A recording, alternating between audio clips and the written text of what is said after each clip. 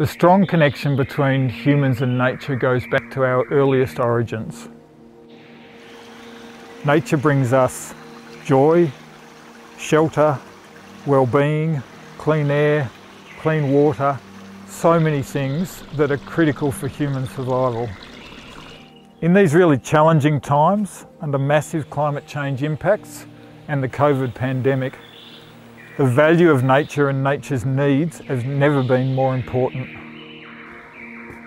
Hello, I'm Mark Norman. I'm in the cool rainforests of Tarra Bulga National Park in Gippsland, Victoria. This is the lands of the Gunaikurnai people and I pay my deep respects to their elders past, present and emerging. Here we're surrounded by nature at its finest, amazing plants and animals, and for me one of my favourites, the lyrebird, singing in the background. It's one of the world's best songbirds. It's a fantastic singer and impersonates all these other bird species, but is also beautiful in its own right. Nature can reach us everywhere.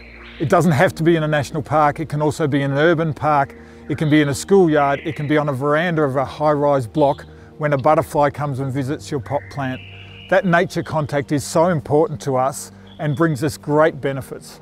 For me, that joy of contact with nature is even stronger when we understand the stories behind these plants and animals, the stories behind the characters and how they've managed to survive on this planet.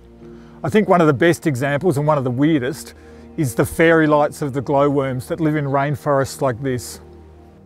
If you go out at night and turn your lights off, you might be lucky enough to see the twinkling blue lights of the glowworms. When you look in closer, you realise there's these chandeliers of glass that are part of that twinkling light show. And if you look further in, you realise there's a vicious hunter behind them. The maggot of the fungus gnat is sliding up and down with its glowing blue bum in front of these chandeliers of sticky snot. So it's like flypaper attracting other little bugs and the bugs come in and go, oh, beautiful, stick to the snot, and then the maggot comes along and eats the whole chain of snot with bugs attached and lays the next ones as traps. It's this sort of magic that brings me great joy and the sort of joy that nature can and does bring people right around the world, particularly in these times. At Parks Victoria, we try and strengthen the connection between humans and nature through our Healthy Parks, Healthy People program. And this includes mental health and well-being initiatives. Many years ago, one of our staff coined the phrase, feel blue, touch green. And I think that's really powerful. I think it encapsulates the need to connect people and nature and all the benefits that nature brings.